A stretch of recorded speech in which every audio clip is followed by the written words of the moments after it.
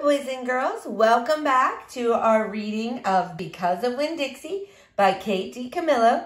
Sit back, relax, and enjoy Chapter 6.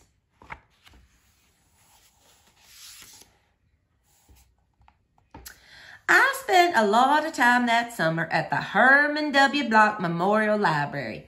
The Herman W. Block Memorial Library sounds like it would be a big fancy place, but it's not. It's just a little old house full of books, and Miss Franny Block is in charge of them all. She is a very small, very old woman with short gray hair, and she was the first friend I made in Naomi. It all started with Winn-Dixie not liking it when I went into the library because he couldn't go inside too. But I showed him how he could stand up on his hind legs and look in the window and see me in there selecting my books, and he was okay as long as he could see me. But the thing was, the first time Miss Franny Block saw Winn-Dixie standing up on his hind legs like that, looking in the window, she didn't think he was a dog. She thought he was a bear. This is what happened. I was picking out my books and kind of humming to myself, and all of a sudden there was this loud and scary scream. I went running up to the front of the library, and there was Miss Franny Block sitting on the floor behind her. Miss Franny, I said, are you all right? A bear, she said. A bear? I asked. He's come back, she said. He has? I asked. Where is he? Out there, she said, and raised a finger and pointed at Winn-Dixie standing up on his hind legs looking in the window for me. Miss Franny Block, I said, that's not a bear. That's my dog. That's a dog. That's my dog, Winn-Dixie. Are you positive? She asked. Yes, ma'am, I told her. I'm positive. He's my dog. I would know him anywhere. Miss Franny sat there trembling and shaking.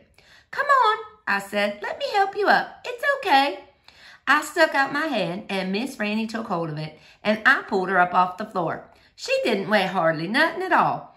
Once she was standing on her feet, she started acting all embarrassed, saying how I must think she was a silly old lady mistaking a dog for a bear, but that she had a bad experience with a bear coming into the Herman W. Block Memorial Library a long time ago, and she had never quite gotten over it. When did that happen? I asked her. Well, said Miss Franny, it is a very long story. That's okay, I told her. I'm like my mama in that I like to be told stories. But before you start telling it, can Winn-Dixie come in and listen too? He gets lonely without me. Well, I don't know, said Miss Franny. Dogs are not allowed in the Herman W. Block Memorial Library. He'll be good, I told her. He's a dog who goes to church. And before she could say yes or no, I went outside and got Winn-Dixie. And he came in and lay down with a and a sigh right at Miss Franny's feet. She looked down at him and said, he most certainly is a large dog.